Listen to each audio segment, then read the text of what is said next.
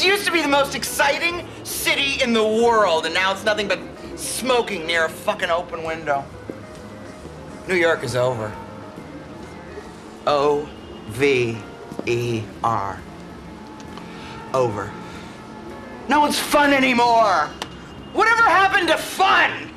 God, I'm so bored I could die. Whoa.